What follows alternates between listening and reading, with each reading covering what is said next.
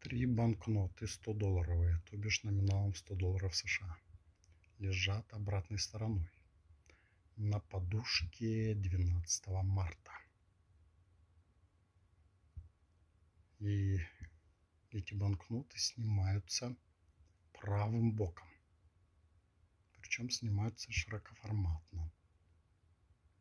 Широкоформатно они снимаются специально для плейлиста «Это денежный.